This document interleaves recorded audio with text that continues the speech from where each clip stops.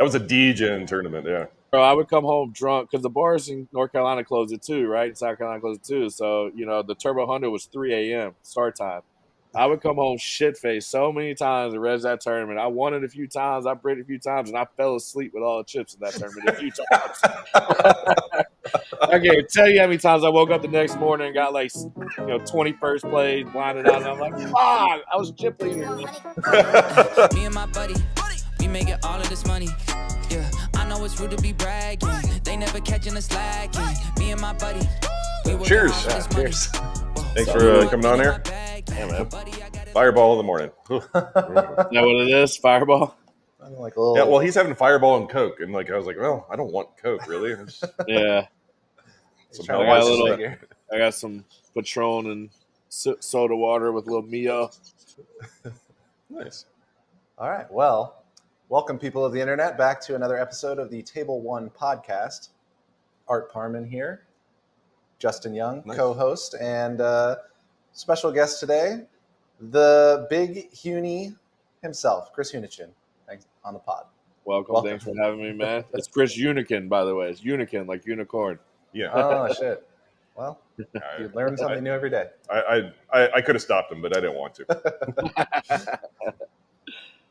Man, looks Yeah, like you got a sick fucking setup there. You're just, Yeah. I'm gonna change. This is uh, not gonna be the Aria behind us. It's gonna we're gonna change it to uh, fucking something just as sick as yours. We just want to compete a little bit. Yeah. yeah, this is real life back here, though. This isn't a backdrop. It's actually what's really behind me. So, So yeah, I, I just got through watching your story on Facebook. Um, it was basically like a house tour. Is that your like uh, consistent house? Is that like yours, or is it like an Airbnb like you guys like rent, or what? What's the deal? No, so this is the town I lived in for seven, eight years or whatever when I was living in Costa Rica. So, uh, my wife's family's here. Um, we come back when we can. But uh, this is just a house I rented while I was here. Uh, you know, I know the area pretty well, and I know everyone in the town, so it's nice. We can find pretty nice places and get good deals and stuff. Just a quick break here, guys. Are you tired of playing with players like this? Not this. No, like no. this?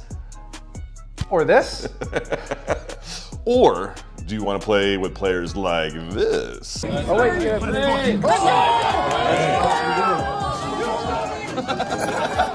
if you like having fun at the poker table, Table One is the game for you. We play high stakes, no limit, 100 100 blinds. And if you want to get into the game, it's actually super easy. We have a website, table1.vegas. You just go to the website, you click get a seat in the game, and fill out the form. It's that easy. It's your name, it's your phone number, it's the date that you're here, and I will personally reach out to you. And it's only 5K minimum buy-in. You know, run it up at 2.5 and join us. So uh, we'll get into this later, but I do want to tell the people out there also a uh, phenom ambassador. So like I just uh, you know we point to Phenom? it. We Phenom. this Phenom. this uh, this podcast also supports uh, the phenom cause, and uh, hopefully it'll be coming out soon. Uh, but either way, I, I'm sure we'll touch on that a little bit later. I just want to make sure the No, get audience. the get the shell in early. I'm sure I'll throw an ad in here at some point. But guys, there's going to be a link in the description below to sign up for the waiting list to get all sorts of special perks for signing up early. we'll figure all that later. All right. So uh, normally in our podcast, we like to kind of go back in time a little bit and uh, kind of touch on you when you were just a little unicorn, uh, growing up to be a big one. Uh, uh, I know we've talked about this before, but we're we both grew up in North Carolina, uh, which is was kind of nice.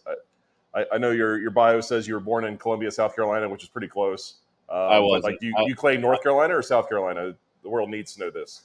I was born and raised in Clayton, North Carolina. I lived in Columbia, South Carolina one year of my entire life. It was the worst year of my life. And for some reason, WSOP will not take down Columbia, South Carolina. It's where I'm from.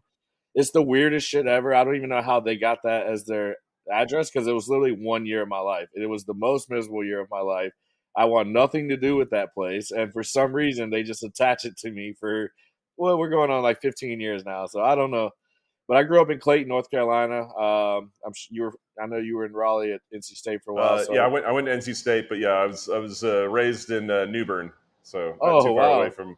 Yeah, that's actually where my ex was from. Where uh, you know, which kind of was the root of why Columbia was the worst year of my life. But uh, but yeah, so why I used to go to New Bern a lot. But uh, yeah, so Clayton's about 20 minutes outside of Raleigh. Um, I'm not. Have you heard of it? Being in Raleigh? Oh yeah, oh yeah. dude, I, I mean, I, I was in Raleigh for like five or six years. Yeah, I, Zebulon, fucking Cary. Like I mean, I don't know. I know Yeah, all it those goes like yeah, Raleigh, Garner, Clayton. But Yeah, yeah, when I was growing up, people in Raleigh didn't even heard of Clayton. That's how small of a town it was. Now Raleigh's so big and overpopulated. Clayton's like the new Raleigh. Like everyone that works in Raleigh that moves there to work kind of just lives in Clayton and stuff. So when I go back home, I'm like, damn, what happened in this town, man? It is not the same. It is blown up. But Yeah, small towns don't stay small forever.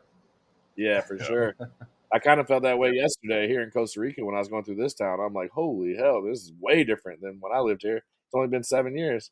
I, I got a text um, from a family member uh, after you won uh, your your first bracelet, and uh, the local news. It was uh, WITN, I believe.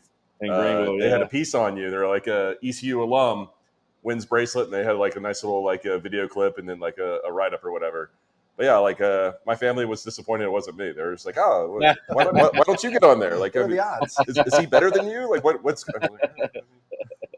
but yeah, so thanks for embarrassing me. I do appreciate it, even though like it's nice to get a little uh, shout out to Eastern North Carolina for uh, poker prowess. Yeah, for sure. You still got your chance. I, yeah, I wore the ECU jersey at the final table, so I, uh, yeah, my buddy messaged me. He's like, "Man, your name is popping around here this past week. You're on every news station, forum, billboard, or uh, uh, uh, what are they called? The the Boneyard Banter. Uh, it's like, uh, Local celebrity, baby. yeah, it was all over the place. So I was like, "That's cool, man. Yes, I always love repping my college, man. It was great days." That's great. You had the fucking awesome summer, and we'll definitely get to that. But first, we want to go back in time to, uh, Yeah. you know, when you had one of those computer monitors where you push it and it would go slowly turn on, and then here comes internet poker. You know, how, how did you uh, how did you find poker and gambling growing up? Did you play games with the family and and all that? Uh, that's seems like a pretty common story on here. Well, actually, when I was younger, um, one of my best friends growing up uh, from my neighborhood, his name was Victor Rivera. I had like this little piggy bank. It was literally like a blue pig, and have all my coins in there. And I'd take it over to his house. Me, him, and his dad would play like five card poker with like pennies, you know. And uh, we would just separate. We divide them up evenly. Play, you know. We were nobody was really gambling. We just play, and then at the end, whatever, whoever won won. Uh, and that's kind of, I guess, my first experience with poker. But then I didn't really, you know, it was just for fun, something to do fun. Uh, but when I actually started playing uh, poker for real was in college, my freshman sophomore year. Uh, started just playing like five dollars sit and goes with my friends and stuff, you know, and we all kind of were just learning about poker. It was like the money maker days, um, you know, two, 2000, uh, I guess 2003 was when I first started playing. Um, since my 21st year playing poker, so I uh, was just doing sit and goes and playing around for fun, and I was winning those with my friends and kind of feeling like, oh, this is fun game, you know. And then I started dabbling online where I was putting money on. I don't know if you remember PokerRoom.com and Paradise Poker and you know a bunch of those old sites and Party Poker before it exited the U.S. stuff like that. Uh, you know, I'd load up one or two hundred and uh, you know run it up five, six, seven hundred, feel like a boss, cash out two hundred, then lose it all like drunk one night playing cash games. And, you know, that same repeated cycle over and over as many times as possible until you realize, hey, I should probably change it up, do something different here, and stop spewing off the money all the time. But yeah, I don't know, just kind of fell in love with the game then, um, and then it just slowly developed into more and more. Uh, I started playing a lot towards the end of my college. Um, I knew poker at that point. I was playing tournaments. I knew poker was going to be what I wanted to do, but I didn't really have the results yet. So I uh, kept playing. My parents and everybody wanted me to get a job. I didn't have a whole lot of support with poker. Uh, people really didn't want me doing that. And um, I decided to go get a master's at ECU uh, to buy more time, give me a couple more years to basically like you know show them that poker is is what I can do. And uh, you know, like I got my master's and it also gave me two three more years to stay in college and and just really I was just playing poker the whole time. Co- college was just used to pacify your your family, basically. Like it was just Pretty killing much. time. Yeah, my family plus my you know my ex uh, fiance and her family didn't really like it. A lot of my friends didn't like it. It was like a lot. Uh, I didn't have much support at all, honestly. Uh, my dad, my dad was like my, my support back then. What would you get your uh, degree in? Uh, business, yeah, I got business management degree, and then I uh, got the MBA, business administration. So, um, yeah, I mean, but I, you know, I've never used it to like a resume j- to get a job. You know, but I've definitely used my MBA throughout my life for all the stuff I've done. You know, I've ran, you know, business myself, and you know, I have poker stables, and I've had the crypto fund for a long time, the ICO fund, and you know, all kinds of stuff. So I definitely, uh, you know, am, am happy that I did that. Um, you know, even though I've never been able to like say, hey, I got this MBA, let me get this job because I have a master's. You know, but you know, who cares about that anyway? I've used yeah. the I've used the experience, and it helped you know helped me prove to them that I could do poker, and that's you know put, help put my brother and sisters through college, stuff like that. After, and then my parents or my you know started to come around, and you know my dad was always like, just do what you want to do, man. You know, like my dad had me hustling with him from an early age, so I uh he was always there, you know, and then he, he was the one guy I didn't have to convince. Everyone else was the ones I had to convince. But what were you hustling with him at an early age doing? What was his uh, his deal? So my dad was one of the first ever power sellers on eBay, and uh, he he pretty much you name it. If there was if there was something big back in the day, he sold it, man. But the main thing was like Beanie Babies when they had that crazy phase. You know, he had all the top end Beanie Babies. Um, shout out to Justin Tinker, that was my dad's partner. I've recently reconnected with him. Uh, they uh you know they were selling the biggest Beanie babies in the world i'd go down wake up 4.30 in the morning saturdays go pack the car up with my dad with the glass cases head out to the flea market in raleigh at dorton arena i know you remember that the flea oh, yeah. market out there and uh, yeah i was like eight nine years old and i'm running around the flea market with my notepad in my back pocket i'm going up asking about $500000 beanie babies at nine years old getting the prices, going around the corner, writing down the Beanie Baby and the price in the stand, going to the next one. I'd lap the whole flea market, get everybody's prices, take them back to my dad. He would undercut them, and then we were killing it out there, man. He would just undercut every. He would just be the lowest price out there, no matter what. And so, yeah, he also he also set up his case. He did it right with the design of the cases and a lot of people were just out there throwing them out there, and he had them, you know, looking professional. Yeah, you, you got to keep them pristine. Yeah, that's, exactly, that's man. Do, do, you remember your dad's uh, eBay name by chance? Uh, he had a few, but I think actually the one that was real big, I think was the Bat Boy because that was my AIM name back back then. I think he took that one. We like to ask that question too. yeah. That's great. And that, yeah. that story about like early hustle and like beanie babies, that's not not uncommon for like the successful people that we've interviewed. Bryan Micon, he was flipping stuff on eBay. Like he was one of the first people. He's one of the first people like putting money on E Trade. And when his parent, parents were like, "Money on the internet? I don't know, son."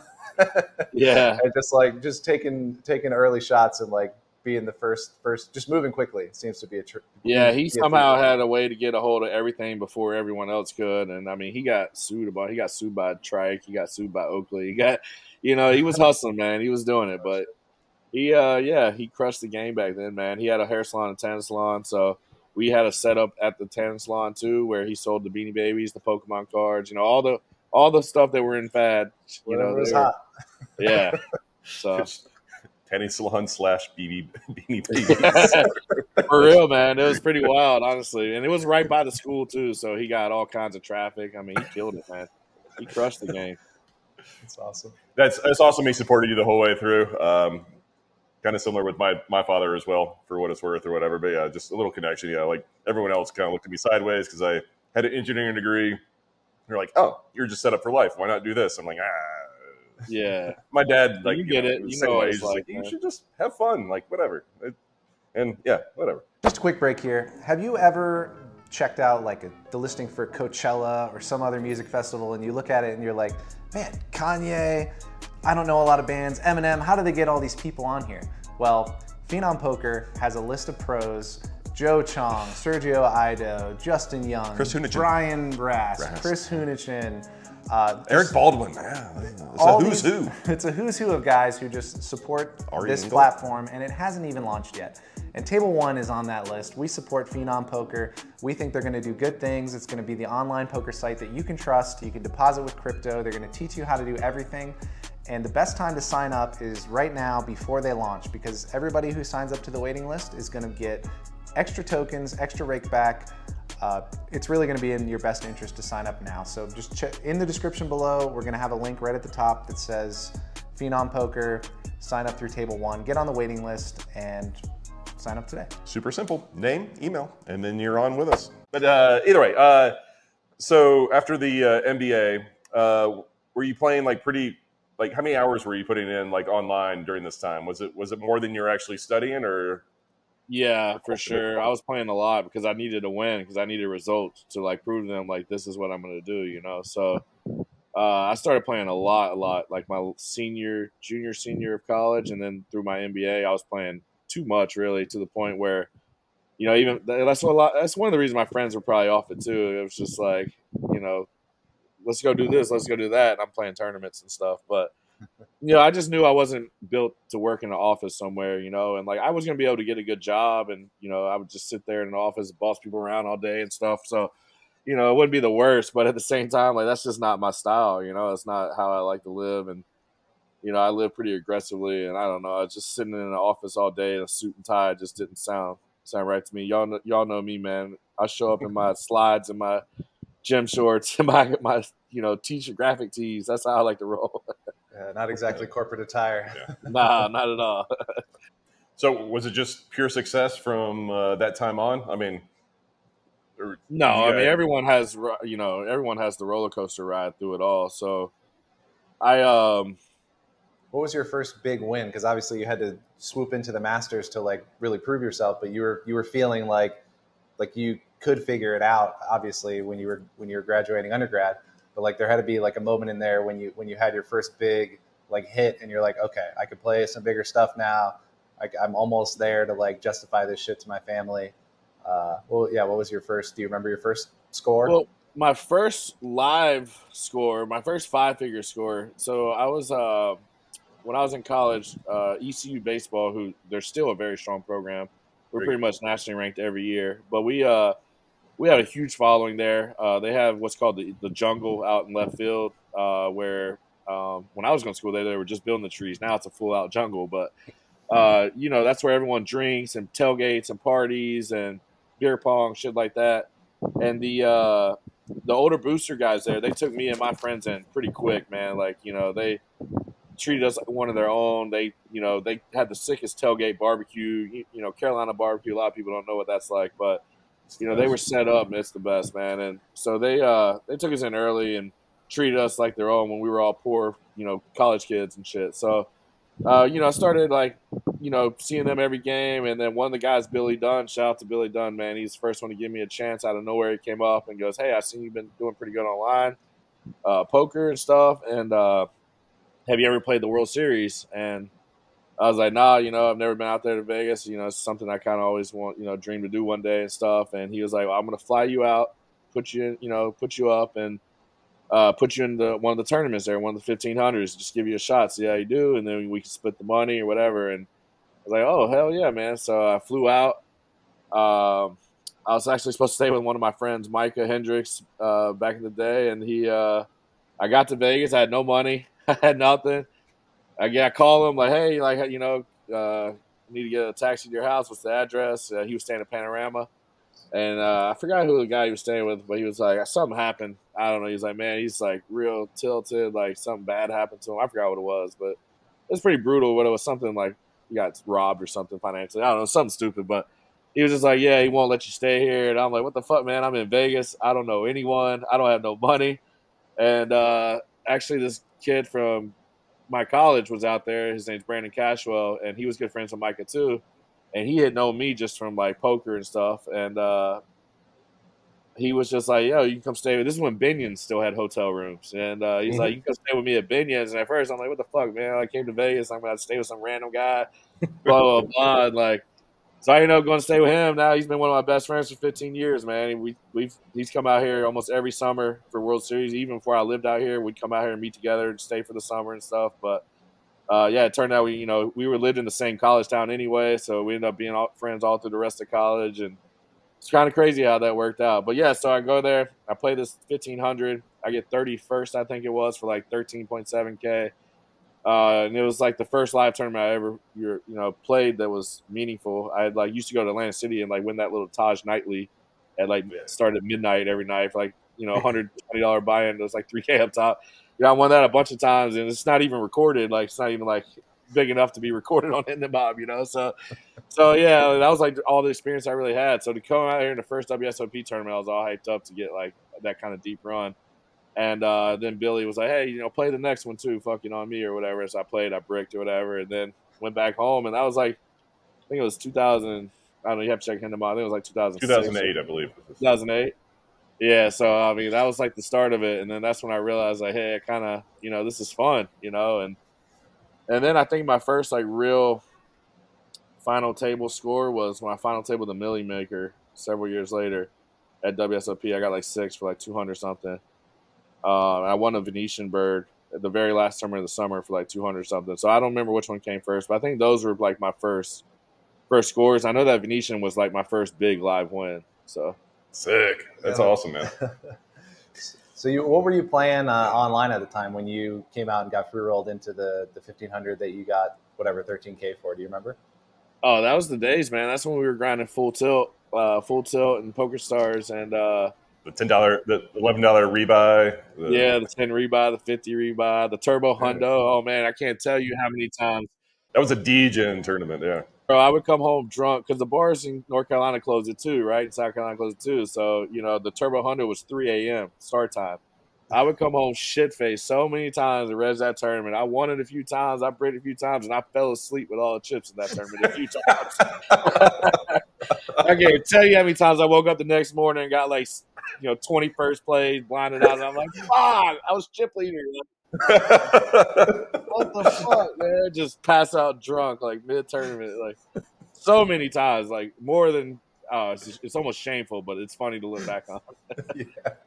But yeah, shout out to my boy Pimpin' Yo too, John Fiore, man. So he kind of, you know, I met him when I first started grinding online, and uh, he was from Raleigh, and uh, basically, you know, that through college, that's how we did it, man. We were grinding, and then when one of us would, you know, we, you know, back then we had our whole role and play on a Sunday almost every fucking time, you know, and anytime uh, one of us go like completely bust on our accounts, we would just put the other ones in tournaments uh, until we hit a score, and then back on our own, and and we just kind of kept each other afloat when one of us was was downswinging, and so we we grinded out, you know, several years just you know keeping each other in the game. So I always have mad respect for him. He was out here. He was actually on my rail.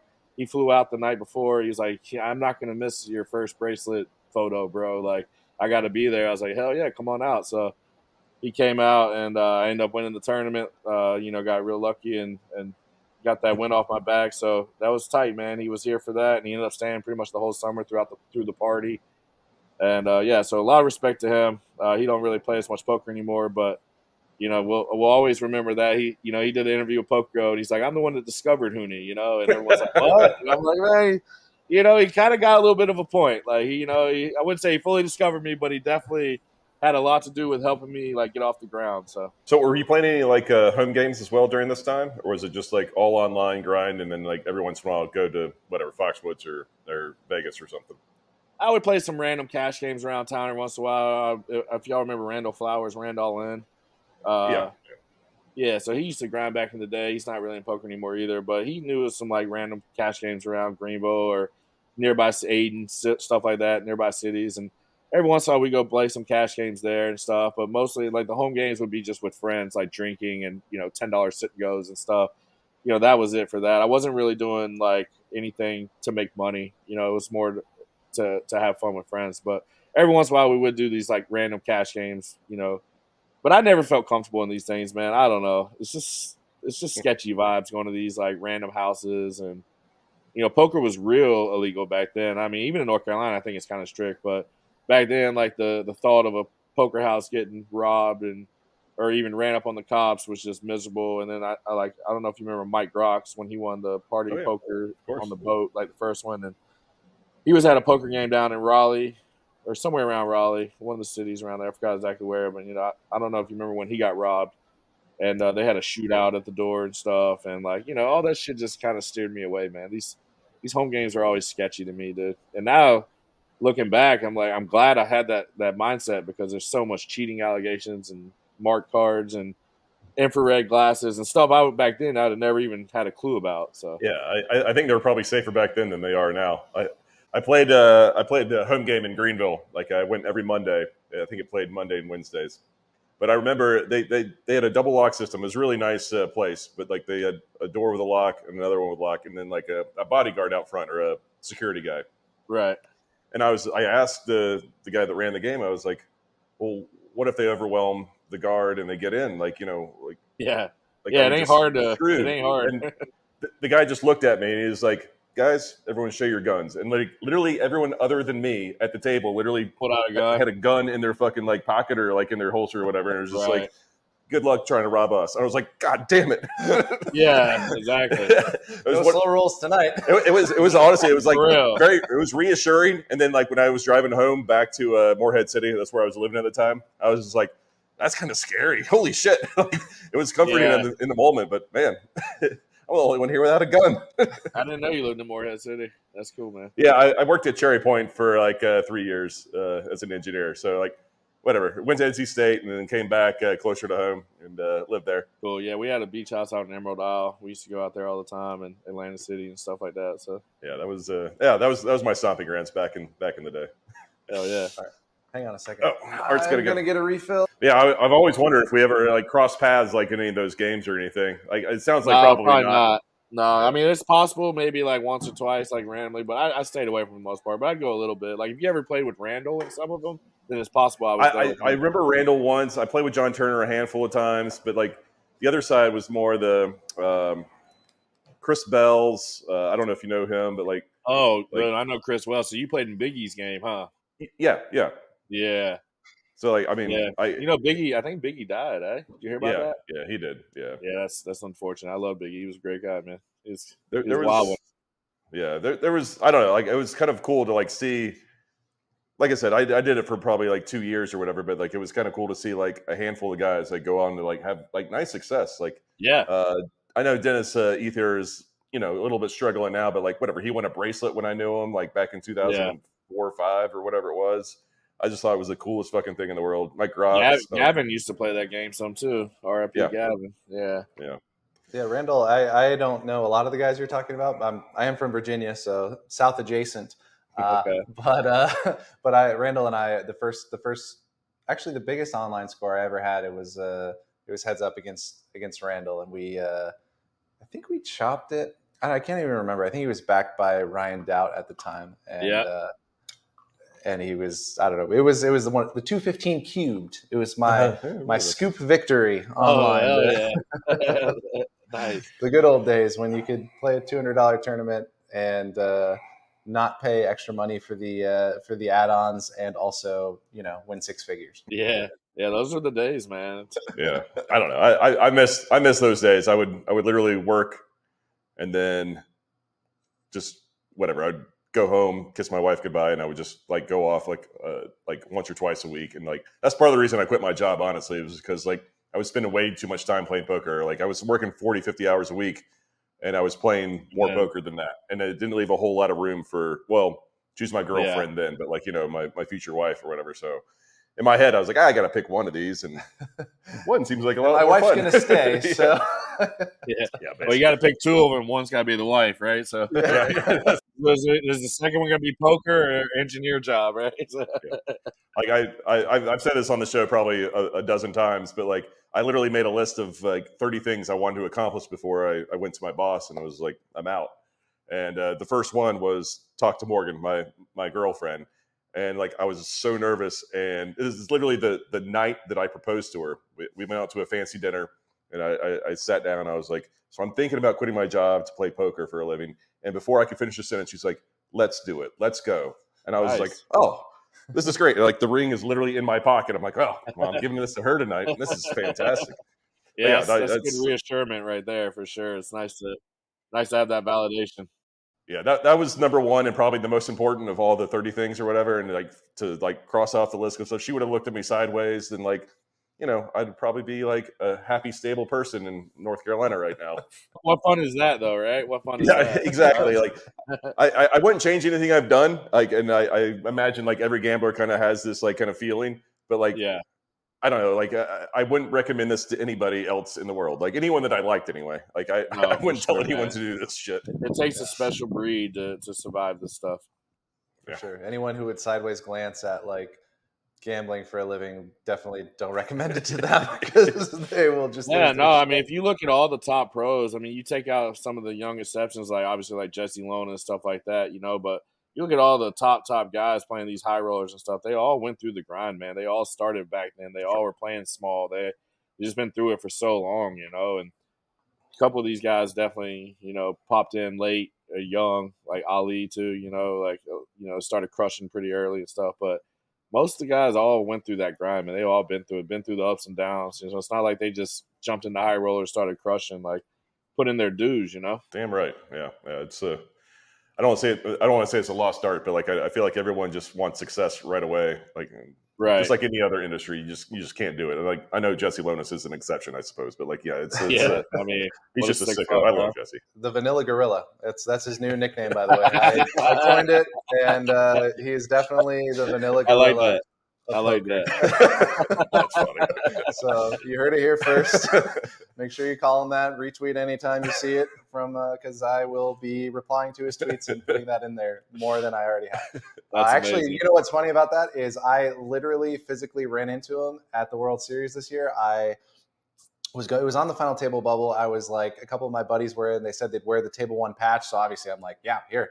I, I run down there. I, I go to give these patches out, and I'm like looking for the table number, and he just like comes like barreling into me, hits me in the shoulder, and I like I like get moved like four yards from from this guy running into me, and I didn't know him. I I didn't know him that at all, and uh, and he's just like, oh, I'm glad you're like a bigger dude because I could have really hurt someone else. yeah, I could just steamrolled right over you.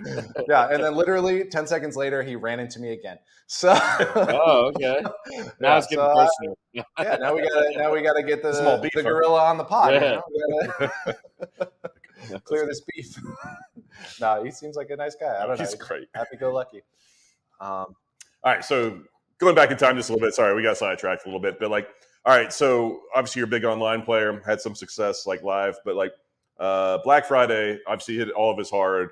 But for people that were, I wouldn't call specialists, but like people that grinded super hard online, I can't imagine the the feelings like whatever for people like you and Shaun Deeb and like you know whatever. There, there was just like the top like 20 players online were just putting such volume in. Like I can't imagine how like that kind of stuff hit you guys. That was crazy, man. I think I was playing 70 hours a week, 70, 80 hours sometimes. Like, you know, the tank too was like during scoops and stuff, man. They would have all those tournaments, but then they'd have the, the tournaments that started at 3 a.m. for some reason, like in the middle of the morning, but they were like good tournaments, you know, and it was like we weren't missing them, you know, so we were grinding all day, waking up, you know, 10 a.m., play till 10, 11 o'clock at night, go sleep at 12.30, wake up at 2.30, hop into 3 a.m. and do it all over and run the whole session through the whole day. I don't know how the fuck I was doing that, man. I know I'll be 40, I'll be 40 in a couple weeks and you know, I could do that in my 20s. I definitely can't do that in my 40s.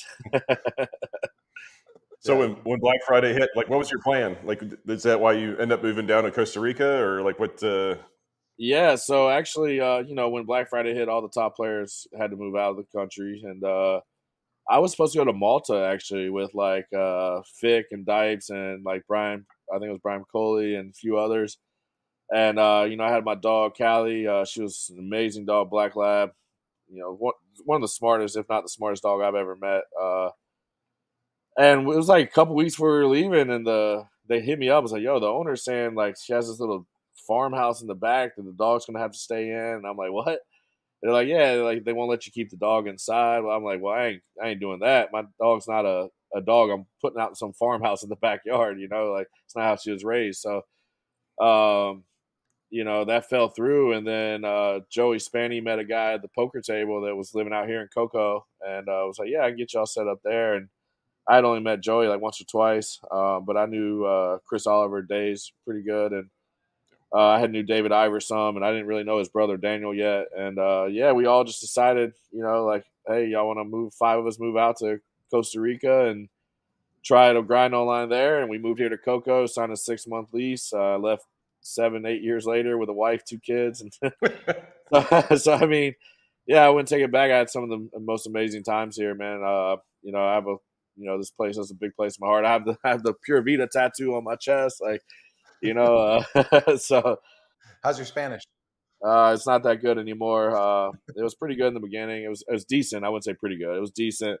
Uh, you know, when I was first single and stuff, was texting a lot with girls and stuff. Like I learned a lot that way. But necessity. Yeah, once you got married and got settled in, and then we, you know, we had kids that, uh, you know, Spanish was their first language, so I was trying to like get them to learn English and you know talk a lot of English, and now my kids don't even speak Spanish. It's so disappointing. Like, Oh. yeah, Is there- it's like you know there- we're here right now with her family, you know, and half her family don't even speak English, so it's like they're so they like can't stand it. They're like, how does Derek not speak Spanish? I'm like, I don't know, man. We we put him in Spanish classes for years. Well, his name's Derek. That's a good start. Yeah, but it's Derek Rodriguez. How's your girl like dealing with that stuff? Is, is she uh I mean, she tries to speak to them in Spanish a lot, and then she'll make them watch like cartoons and stuff like in Spanish. You know, she's like, "Well, if you want to watch it, you gotta watch it in Spanish." And you know, but I don't know what it is, man. It's, the older you get, it's harder. You know, he's 11 now. The other one's seven. Uh, you know, my youngest kid was he was one when we moved out of Costa Rica, so I don't really expect him to know Spanish. But Derek's definitely disappointed. He was four, which is still young, but that's when you learn it all, right? So Yeah. he'll come here and he'll he'll surprise me a little bit. He'll bust some out when they're talking to him, and, and you know he'll know a little bit more. But then sometimes he just freezes up, and I'm like, damn, bro, we gotta we gotta get him. But we're moving him to Alexander Dawson in Vegas. Uh, it's a private school, really good private school, and uh, they they do real advanced Spanish classes there. So I'm hoping. I'm hoping the next three, four years he's going to pick the language back up. So The memories will trigger, and he'll. he'll I'm hoping so, again. man. I used to live in uh, Germany when I was like preschool That's age, a hard language. and I uh, I've seen like home videos of me just like super fluent, just like that. Really? Oh wow. And now I've I, I wouldn't say I've lost it all. Like I could probably get my point across to somebody in German, but if somebody's talking to me and they're talking like pretty fast, I'm not gonna I'm not gonna pick it up. Yeah, I went there when I was 12 with my grandma, and I was there for a couple months, and I uh, I started picking some up then too. But that shit is hard. And then you know once you come back, you don't talk it, you forget it. Like now, I think I know like I can say one to ten and maybe like three other words. you know, like you know because my background's German. Hunichen is German. You know, so uh, Oh, yeah, I don't know. It, it would have been cool though. I really wish going back, I would have just learned all the languages growing up. That'd be super dope. Yeah. Just know. it's weird uh, if you could if I could talk to my uh, whatever eight year old self, I would tell him to learn how to play, play the guitar and learn another language for sure. Because that would have got me so much fucking pussy. Hundred percent, man. That's the one thing, you know. Like I'm connected with a lot of these musicians and stuff, you know, doing these parties and stuff. And just even in college, I used to do a bunch of parties, but like I always have had that. That's the one thing where people are like, "What? What is something you could go back and uh, learn that you don't know?" And it's definitely like music and playing the guitar, man. I always wanted to play the guitar. All right, well, let's talk about the parties. We opened the we opened Yeah. the box. Yeah, that's right. Chris uh, Chris has a famous uh, Fourth of July party that he throws every year. When was the What was first inaugural year? Yeah. Uh, well, I've been in my house three years. So I've done three of them at this house. Uh, I threw a couple in my other house, but they were nothing like what we're doing now. They were still like nice, fun parties, but Yeah, you're almost having like a mini like Warped Tour situation going on. You got Yeah, you got like artists, you got a bowling alley, you got a hundred dollars at the door to get in, and you catch a lot of heat for for charging to get in. But like, given your MBA background, I, I get it. Like you, you want to. so I mean, it's money. not it's not even like you want to make money on it, but you you definitely don't want to like just fund everybody's fun. I'm guessing. So- yeah, I mean, I've for one, I've never made money on any of these parties. I've lost money. I lost five figures on this party too, and it's like I'm not in it to to make profit, but I'm not gonna. You know, at, at first I was throwing them and not charging anyone anyway. That's one reason I get a little shit. Honestly, the people talking shit are just like a bunch of like people that are irrelevant though. They're just people, you know, on Twitter that have like 50 followers and shit. Like, you know, and then maybe uh, every once in a while I'll get somebody that is kind of relevant that'll say something, but it's very rare. The people that go to the parties will tell you in a heartbeat, like it's easy value, like it's great value. Um, but yeah, I was throwing them on my own for a while and I was spending like 40, 50 K on these parties, not charging anyone. And then like, you know, well, one, I don't have it like I used to. I got fucked over a couple times for some really large amount of money on, and some spots. So, you know, for that's one, but two, it's like, you know, this party cost me like, it was like 86,000, I think I spent at the end. And I end up, uh, you know, I, I had 35K in sponsorship money. And then I got around like 36K back uh, in sales. So, like, I end up, you know, still almost 15K. 15K. Yeah. So and it's like it's not like you know I'm I'm like just running this party and making money at it. You know that's not what this party is about. It's just you know the end of the summer, let everyone have a great time. I really can feel like I can confidently say no one can put on a party like I can. So uh, you know why not do it big and and like like I said, man, you ask the people that go to the party. There was 600 people there. Man. Ask them if uh you know what they think about about paying the money. Like it's easy. I would I would pay the money in a heart. I'd pay double honestly for, for what's going Sounds on. like I you have- did. You paid. You paid ten yeah, fuck, yeah, I paid a lot more, and I put in hundreds, hundreds and hours of work for that shit, man. Like it's hard, Yeah. bro. It is hard, and not only like people don't understand the work that goes into it. Even just finding sponsors, man. Like especially these days where you know inflation's through the ro- roof and the economy's um, the economy isn't that great. Like finding people to give you you know free stuff and donate free money to a cause like this isn't easy, right? So. I mean, there's a lot of work that goes into it, and then now it's right in the middle of the series. I kept saying it's the last one because like it's just so much work, and I'm playing more. You know, the last couple years I haven't been playing much poker, and now all of a sudden I'm playing the full series. You know, I was going for Player of the Year, and it was kind of distracting. But I had so much fun at this one. I think I, I, I'll probably have to do one more. If, I have to talk to the wife. She really hates these things. Like uh, she gets, you know, six. There was 600 people in my house last year. We had 900, so it was a shit show. There's a lot of people at, at your house. My kids are there, stuff like that. So Yeah. But I Has mean- anything? Uh, this is actually one of the. I, I told Twitter that we were interviewing you today, and one of the questions was, "Has anything ever been like broken or stolen, or what, what's like the worst thing that's happened at one of these parties?" Well, so I, nothing's really been stolen. I don't really just keep stuff out that can get stolen, though, right? You know, and like, I mean, like, I don't have a dollar to my name at that in that house. I don't even keep money in my house really in general, just because, uh, you know, with a high profile name and a target on my back, being in crypto and stuff like that. Uh, you know, if I if people ever rob me, they can get some bowling balls and like, you know what I mean? Like, what the fuck? You know, you ain't getting you ain't getting nothing of value. Maybe a fucking nice picture on the wall or something, but Some poker coaching, some forced gunpoint poker coaching. what do I do with ace queen if someone three bets me? Yeah, they say there's three ways to play Jackson. They're all wrong. Which way is right? yeah, exactly, man. So I, ju- you know, but I had uh, last year we had some damage with like the tile outside my door, um, which was pretty annoying. But like in the you know 900 people, you gotta expect something to happen. So you know, it wasn't the worst. It was something that I was able to fix, which is more money I have to spend, by the way. You know, like after the party, and uh, and then this year, like someone like fucked up my dog gate, like where they like uh, we have a little doggy door that goes to the backyard where they have like a little green area to to piss on and whatever. And there's like a gate around it, and someone broke that, which uh, we didn't know about. So the next day, when my wife let the dog out through the doggy door, it just immediately took off. This little Yorkie, and he's a little shithead man. So we spent you know 45 minutes chasing him around. Uh, but it's dangerous because like if he gets gone, he could just go right. You never know where he goes, and, and I mean those you know expensive dog like can't be just having this fucker running around like that. but uh, my kids would kill me if that dog got lost. So, but other than that, yeah, not not too much. Uh, other than that, like you know, I have a full full security team there too, though. So, uh, you know, they keep shit in check. They're watching the rooms. They're watching people try to go upstairs, stuff like that. I mean, they they keep the security team's amazing, man. I mean, they're they're great. So the negative's not that bad. So without giving too much away to people, but like, what what's your favorite part of this last year's party? Like, what what event or what display, I guess, uh, would would be your favorite part? Well, so I think uh, definitely the music is cool, man. Seeing the different acts, you know, I usually have different genres of music coming in. Uh, Signal Fire's played, I think, six of my parties total now. Because I used to do Halloween and New Year's also. Uh, so Sean, the lead singer there, was one of my roommates in college at ECU, and uh, you know they've blown up. They they used to be Fifth Generation back then. I'm not sure if you ever heard of them in our early college days. Uh, they did some Raleigh shows too, but uh, yeah, so they've blown up. They've gotten a big following just from my parties from out here, man. I mean, there's there's people I saw uh, Instagram stuff that tagging them at my party saying it's like their favorite band of all time and stuff, you know. So I think that's really cool, connecting them with new fan base.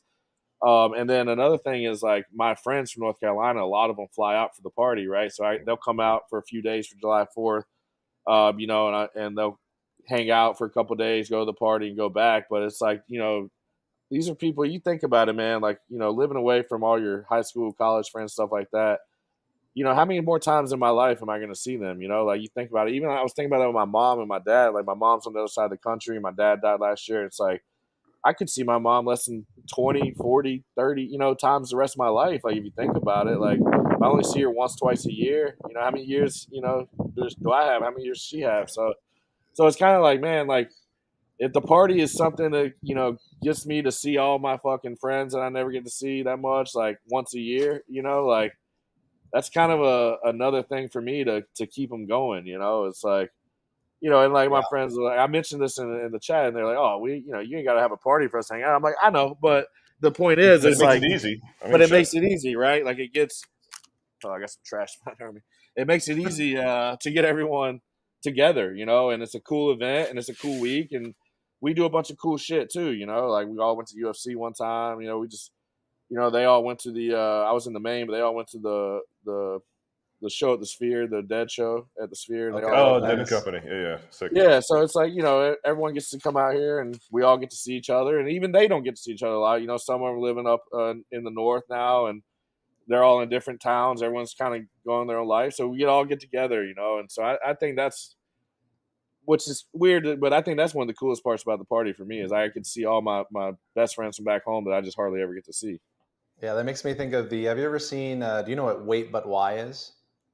It's No. a it's like an online comic strip. It's not. I mean, it's it's cool, but they, he has this one blog post that he did where it's like uh, the amount of times that you see like your your best friends in high school. It's like you see them three times a week for four years, or in every day in school and all that. And then your parents, you see them almost every single day until you're like 15, 16, and you get a car and like.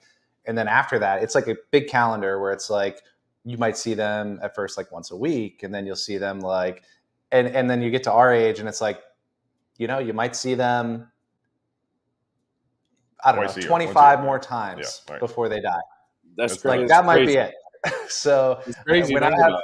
when i have friends come to town i try to make time to see them more because i think of that i'm like damn this might be like one of the last 15 times i see this person that doesn't live here you know so i appreciate Yeah. i mean I, I i can appreciate that part of the party being powerful Yeah. for you because it, it is a powerful thing so everybody out there that has uh, high school friends and uh, family that you've been neglecting call them you know? Yeah, for sure.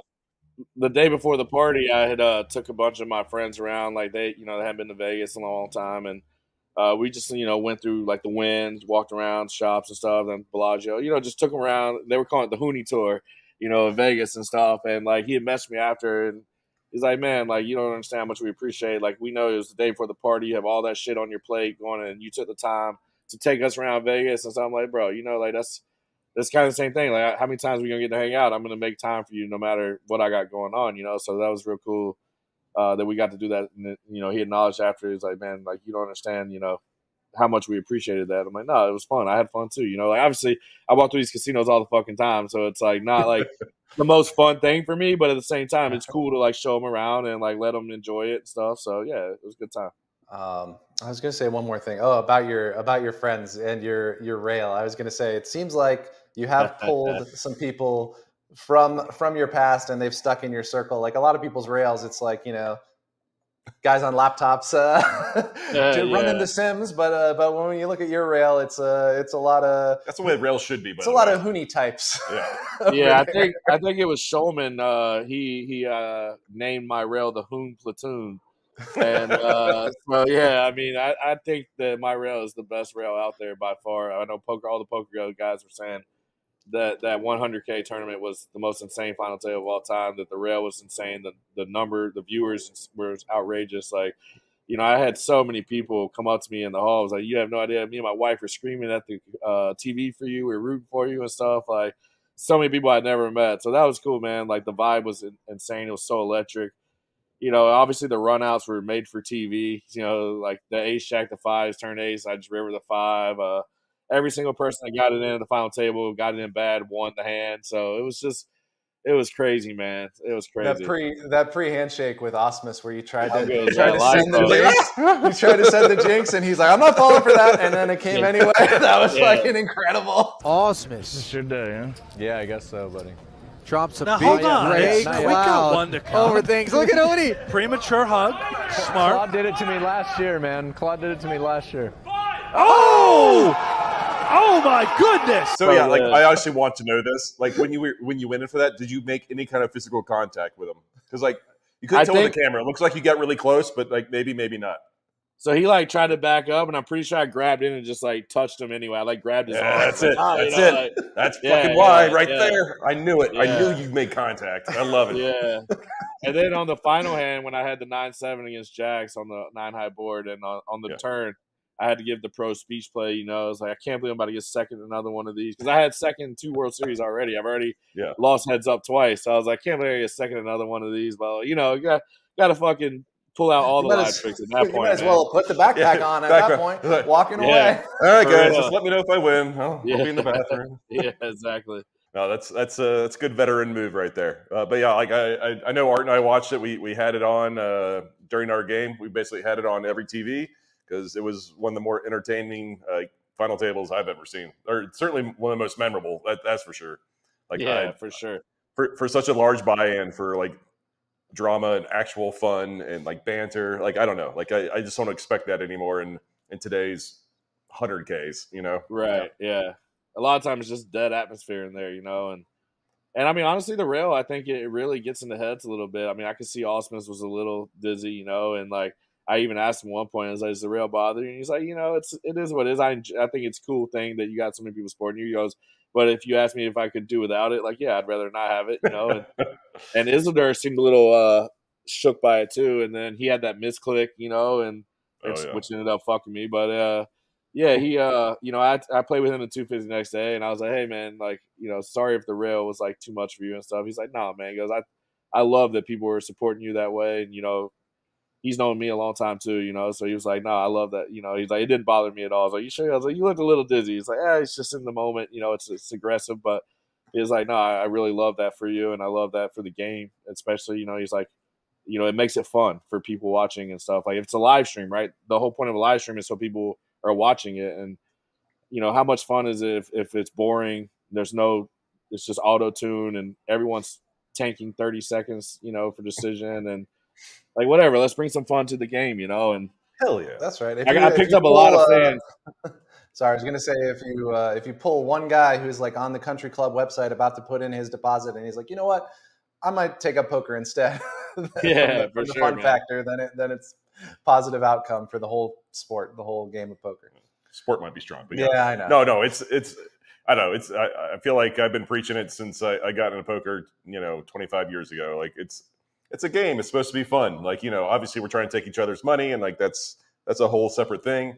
But like you're supposed to win or lose. You're supposed to enjoy yourself the entire time through, and that's that's all that matters. I understand serious moments are serious, but 99% of poker should be absolutely fun and like getting to know your neighbor, talking. I don't know, shit like Yeah. that. Having a great rail like that. I, Definitely. Yeah. Um, so I'm sure everyone that is watching probably knows, but uh, Chris had one of the best years. Uh, certainly this year. I think you finished like third or fourth in the POYs this year. I'm not sure. I think to, I got bumped down to fifth at the very end. Yeah, uh, Racing shit, had like okay. a real stick run there at the end, and Chance won That's- that bracelet. So one of, one of the sickest uh, World Series ever, in my opinion, anyway. One of the more memorable, anyway. And like part of the reason it is more memorable is because you didn't have any bracelets coming in, and like you're you've always been in whatever the top ten lists of best players without a bracelet. Um, like how, how motivating is that for you every year? Like I mean, this year is probably a little bit different because I know you played everything, but like. Like, do you come in every single like World Series like I need a bracelet, or is it just like if it happens, it happens? yeah, I mean, so be honest, I hadn't really played a lot the last four or five years World Series. I um last year was going to be my first full series in like four years, um, and I came in and I had two really deep runs right away, and um, then my dad died, of course, and I didn't catch another tournament the rest of the series after my dad died, and uh, you know that was some of the the hardest times I, in my life I've ever gone through. Um, then dealing with all that Doug Polk bullshit, like right when my dad died and stuff, didn't help. But um, you know, so this year I, I wasn't sure I was going to play. Honestly, the World Series, I um, was going into it. I was working really hard, doing a lot of crypto stuff, and I was spending a lot of hours a week, and um, was up till five a.m. every day. So I was just like, I'm not even really on a poker schedule either, and stuff like that. And then I don't know, I just like had a deep thought about it, and was like, man, like I got to win a bracelet for my dad. Like I don't know how much more more I'm gonna be focused on poker, and um, you know, two years ago I I got third in that 250k, but I uh I I only played three tournaments that summer. You know, it was I wasn't even gonna play the 250. It just a bunch of people hopped in that I, was like, okay, this tournament's gotten pretty good.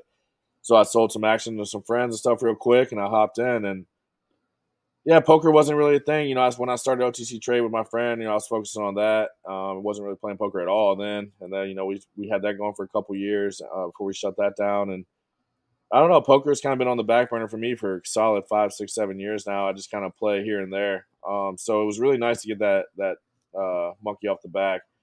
I uh, I don't, you know, it was a lot of pressure. I guess like one, like I got the point where it's like I really want to win a bracelet for my dad, and so I'm just glad it's over. Now I can go back to just playing when I want to and stuff, which you know it's kind of what I was doing anyway. But this summer I was you know, I wrote that Facebook post basically it was like, yeah, this is I'm gonna go hard this summer. I'm gonna give it my all and, and try to just bring one back for him. So I'm glad I manifested that. I'm glad we did it. I'm glad that uh that's out of the way. And you know, I mean, I had a good time this summer. You know, being a no limit player, not playing the mid games, top five POY is like a huge accomplishment.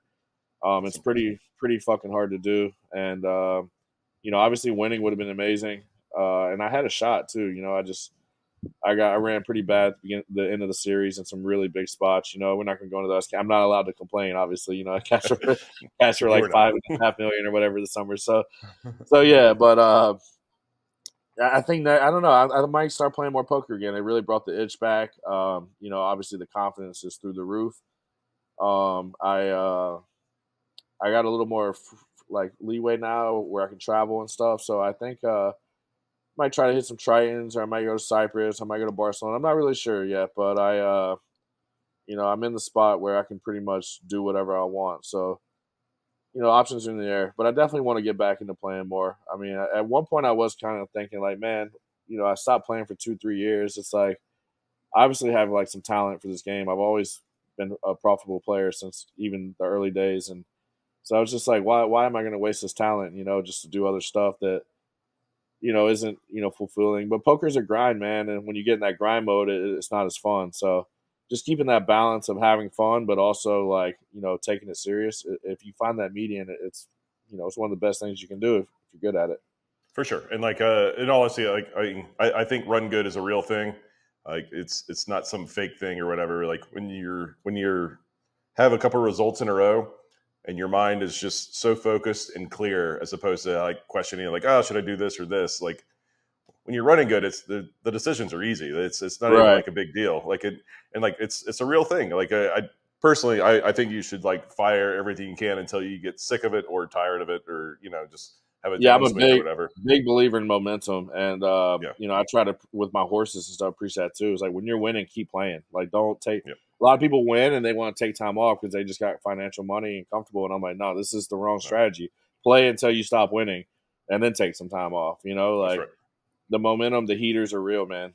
Yeah, well said. Well yeah. said, both of you guys. As, uh... no, yeah. I mean, I've had a few in my life, and like, I, there's just no better feeling in the world. Like showing up and just knowing you're going to win. Like, even if you don't win, like you just still you show up. You're like, I'm winning this. Like, like you, whatever yeah. flip you get into, you're like, good luck, buddy. You're you're you're not you're not hitting this. Like you're already thinking about the next hand after you double up. Like it's just like it's, there was a point perfect. in time where I knew one out of a hundred multi-table tournaments that I entered online, I was going to win. I was like, these are just the stats. This is what I've been doing. I mean, it's going to happen. So I didn't win this one, but I mean, I'm only 99 away from another victory. yeah, even coming to that 250, that was the day after the 100K win. And like, I right. played pretty That's bad sick. the first day. Like, that was probably the worst poker I played in years. Uh, and I bagged like half a starting stack, which still fortunate to be in.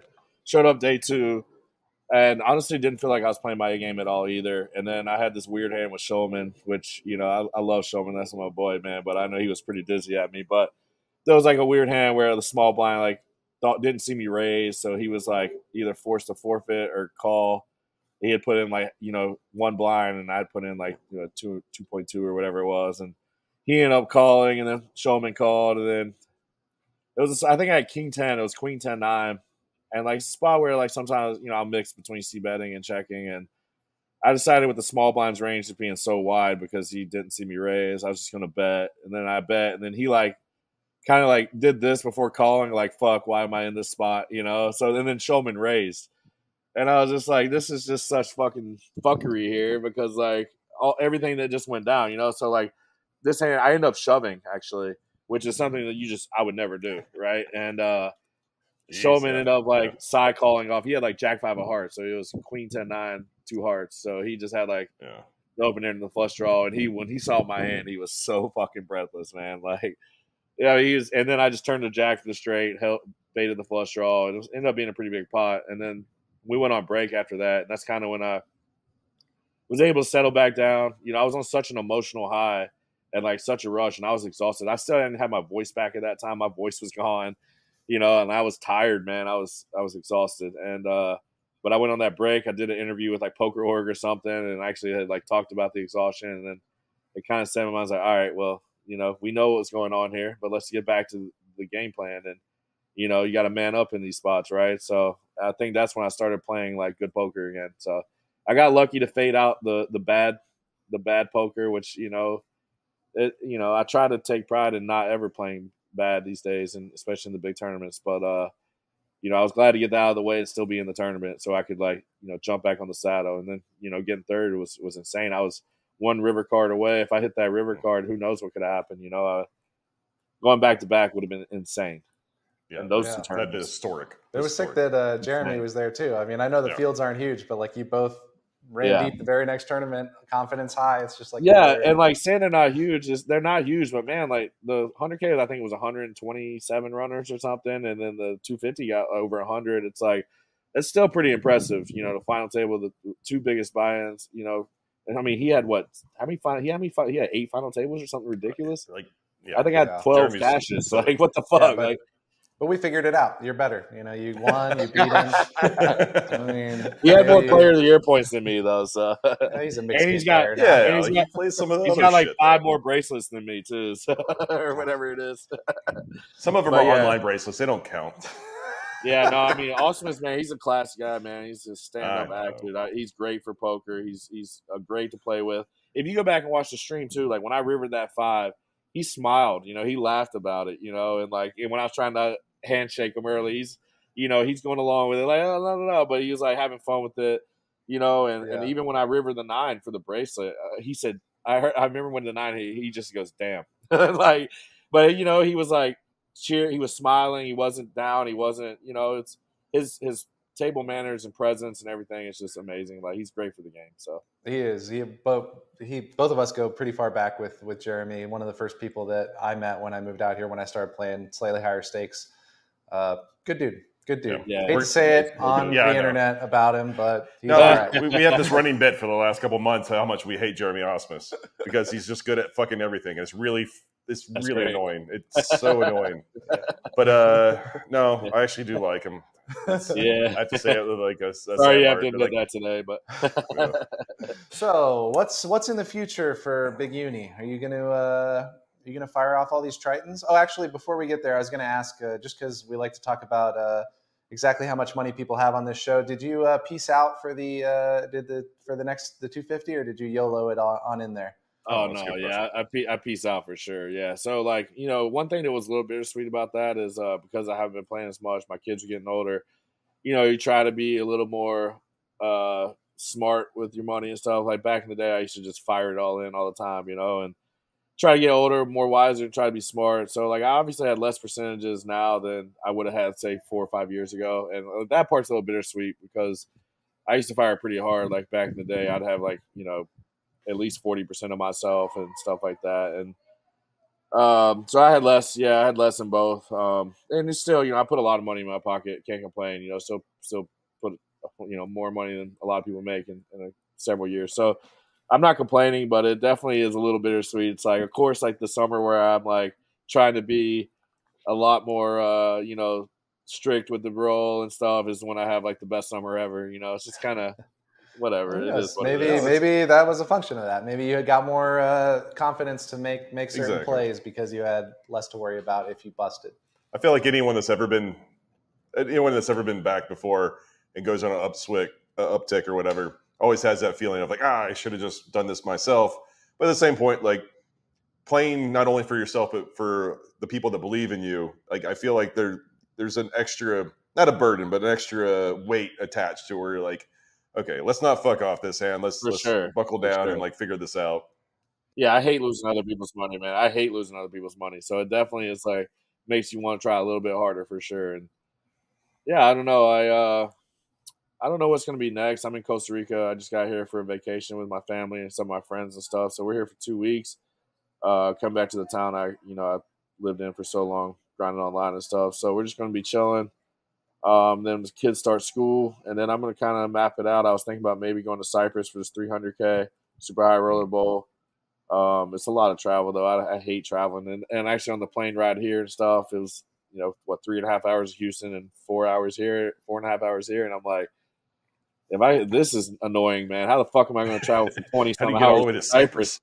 Yeah, so I was like, fuck, man. Uh, so I don't know. I might go. I love Barcelona. Um, you know, but that's just like the timing is kind of weird with me with my kids and their sports and their football and stuff. So yeah, I'm not sure, man. I might just settle back in and just keep doing what I've been doing, chilling, keeping up with their sports and going to all the games and shit like that, and just saying fuck poker. But who knows? I don't know, man. It's I'm gonna let this two week vacation kind of just play its part and then just kind of decide from there. Anything uh, non-poker, like uh, business-wise? I know you said you had OTC trade, you shut it down. Uh, you working on anything business-wise that you could talk about? Not really, no. Mostly, uh, you know, I have still have some people in my stable that uh, you know I'm working with daily on hand history stuff like that, and then uh, I've been doing a lot of crypto farming stuff. So, um, not sure if I'll keep doing all that, or I don't really know what I'm gonna do, man. It's uh, turning forty. I might just retire. Well, I mean, I wouldn't say Football coach. retire. Speaking online, I mean, you are an ambassador of Phenom Poker, so like we're gonna need you to be around for a little bit longer to like carry the torch. For sure, for sure. You Yeah, can't have little people like me like trying to pretend like we were we were good at poker or anything.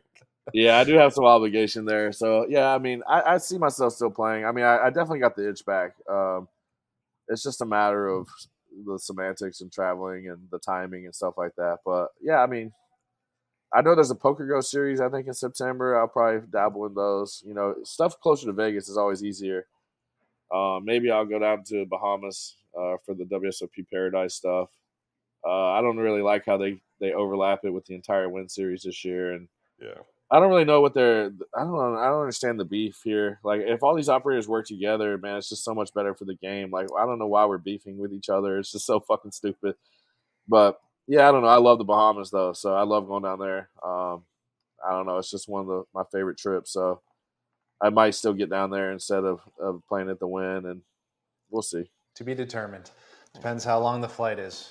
Yeah, right. I know. Shit, that's that's another one. It's about the same as Costa Rica. You know, it's like fuck, man. Unless we fly private, we could fly private, but then Doug Polk would be blasting the whole internet about the scumbag I am. and what's I'm the a what's the grifter fly? this You should walk there. Yeah, it's- What's the fly private beef? I don't really keep up with. I saw you, uh, him talking shit to you, and you guys replying. And I honestly, I don't really. I'm I'm on Twitter a fair amount, and I still don't know outside of the the GoFundMe drama, which I was just like, eh, he's just retweeting a GoFundMe, you know, whatever. Yeah, that was so. That is just so stupid. It's like that thing raised six thousand total, and three thousand of it was from my friends in the poker community. And he acts like I'm like scamming people. It's like these are my friends who I've done a lot of shit for, who's just giving back to my help my family, my mom and my sister. Like I live in the West Coast, they live on the East Coast. They said I didn't even know about the GoFundMe until I had a couple thousand dollars raised, you know, and and then they basically just wanted like you know I support everything in my family financially and shit. I've been doing it for a long time, and and it's like they, my dad just died, man. They knew I was going to do. They just wanted to fucking help out somehow, you know. They just wanted to feel like they were helping too, and not just putting all the burden on me because I had to do all the funeral process. And you know, it's not even just about the money, just the process too. And they just wanted to help, man. And then they raised a little bit of money and was like, "Can you share?" And I, I told them no at first, a couple times, like, "Ah, "This, this is just going to cause drama. Like, people aren't going to start." And then you know, it's, they just kept saying like, "Please, you know so many people, and like, you know, you have so many friends that'll help." Blah blah. blah. It's my sister. Like, so my dad, my sister was living with my dad. My sister, Oh, um, shit. Yes, and she has a he is five now, I think, five or six year old kid who she's a single mother. The dad's never been involved. He's an autistic kid. It's a very hard thing to do. My sister, she's had her own troubles in her life. She was in prison for a little while and you know, she's changed her life around big time. You know, she got into some drugs and stuff and she was really rock bottom at one point. And uh, so she moved in with my dad and she changed her life, man. She's clean. You know, I sent her to rehab and um, you know, and now her kid's like the main part of her life. And, and, you know, I don't think people realize how fucking hard it is to raise an autistic kid, especially on your own. And so she, uh, you know, depended on my dad a lot. They both did. And so when my dad died, it was crushing for them. And the house that he was in is the house I grew up in as a kid. And, you know, it was run down. It had been needing fixed up for a while. My dad was just a stubborn motherfucker, man. And, you know, these older guys, they just don't want, they don't want you to interrupt with how they're living and shit, you know? So, you know, I think somebody I saw a tweet. Someone was like, "I genuinely want to know why the house needed fixing up once he died, but it didn't need fixing up before he died." It's like, where do you come up with, the- you know, what, what makes you think that it didn't need fixing up before he died? It just when he died, it was just, you know, my sister needed to live there and shit needed to be done, and she just wanted some help with it. And yeah, I mean, you know, like I said, like Doug knows that money's so irrelevant to like the stakes we play and the money that we do and everything. You know what I'm saying? Like I spent 15k on a party. Like you don't think I could have spent three thousand dollars to help my sister out, which I which I ended up putting about twenty thousand into that house for what it's worth. You know, it's like it's not like I ain't doing my part. You know, it's just like they just wanted to fuck. She just wanted to feel like she was helping. You know, and the way he takes these stories and run with it and tries to bully everybody, it's fucking comical, man. And you know, and uh, what he does is he tries to bully people to play him heads up because he knows he's one of the best heads up players. Like yesterday, it's like, dude, uh, if you want to crossbook in any tournament series, let's go. And he's like, oh, why do we need seven other people at the table? Let's just play heads up. It's like, bro, we all know your strategy, man. We know what you're doing. Like, you know, calling me a grifter, bro. Like, give me a fucking break. No one does the, what I do for people, man. Like, you know, you ask all my friends and shit, man. I'm the most generous fucking guy in the poker community out there. Like, so he, he knows what he's doing, man. He knows he's full of shit. It is what it is. Unfortunately, yeah, just being nice uh, doesn't get you a whole lot of clicks. It's uh, It's just funny because he's calling me a grifter, but like he he's really grifting the community. He's taking his community and he's feeding them bullshit so that they attack people and then give him money, right? Like this is how he makes his money now. You know, he runs this little card game and he fucking does his YouTube shit where he attacks people and has all his little minion followers. You know, he's making so much money off them, and they're like just worshiping the guy whenever he's just owning the fuck out of him. It's kind of funny, and like you know, I'm blocking fifty to hundred fucking people a day on Twitter who's got like 12 followers, 15 followers. Like, can't even tell you how many burner accounts have been hitting me up. And I mean, it's it's just funny to me. It's like, dude, go get a life. Like, you know what I'm saying? Like, I fucking my life, my life's great. Well, I'm glad while you were uh, while you were blocking people, you found found the time to DM us to to, to get Yeah. get the communication going to get the get this. Yeah, going. after the win, I had a lot of people reach out for podcasts. So, I, you know, I was saying like at, once I got done with the series and I got to Costa Rica, I was going to spend today. I just did one with Jeff Gross. Uh, I'm doing one with the Holt Nailers. I'm not sure if you know who that is. He was a quarterback uh, for ECU, and he went and oh yeah, the- fuck yeah. the Seahawks for a little bit. So no, we're gonna do one of those uh, with them, and then one with Pirate Radio, I believe, or the Boneyard or something. So yeah, I'm gonna knock them out, and Well, sick. If you um, if you have any like links you want to send me after they get done, I'll put them in the description of this too, so people can, if they didn't catch a different part of the story they want to hear, then they can uh, they can check. yeah, I'll that probably out. do those the other two so- uh, after the trip, and then I did the Jeff, I just got done with the Jeff Gross one before this. Some of this is recycled. I end up catching myself repeating myself a little bit, but I mean, how can you not when we're talking about the same, same stuff? But yeah, Yeah, the best the best stories are the best stories. yeah, for a reason, exactly. right? You know, like, uh, everyone wants to know about the 'em in there. party. Everyone wants to know about Doug Polk's bitch ass and whatever. Like. you know, let's go. And the thing is with Doug, man, is like he bullies people and people just back down because he's so intimidating. He's got a big following and you know he's posting YouTube videos and like I'm not gonna back down. I've been doing shit my whole life. I guarantee you, I've been in more fights than he's ever been. I can guarantee you that. You know, so like I'm a fighter, bro. Like I, you know, I don't fight anymore. You know, but you know, I used to. My sister put me through hell growing up, man. I had to fight a lot, and it's like, man, like I'm not gonna back down, dude. Like I don't care. You know, you can't question my integrity when when I do the things I do for people. It's not even close. So, whatever. I'm glad you at least get to say your piece. Like, uh, I hate how divisive everyone has to be in every aspect of, of life. It seems to be, especially, I mean, specifically for us anyway, poker, which I don't know, should be one of those very easy things outside of calling out cheaters. I don't know. I feel like we should all Yeah. like fucking hug and sing kumbaya, but and mind apparently their own not. business if it's not like Yeah. cheating. yeah. Yeah. All right. Either way, I, Chris, really appreciate it, man. Like, uh, I, I know we played together for years. This is probably, well, probably longer we've ever talked combined. Uh, but I don't know. I've always enjoyed playing with you at the table, and I, I appreciate you coming on here with us. Likewise, man. Yeah, no, thanks for having me. And, and you know, Phenom Poker, let's blow this thing up. All right, that's the pot. Thanks, man. Me and my buddy, we make it all of this money. Yeah, I know it's rude to be bragging. They never catching us slacking. Me and my buddy, we working hard for this money. Whoa, you know I've been in my bag. Yeah. Buddy, I got it like that. Yeah, y'all better stop. Me and my boy gon'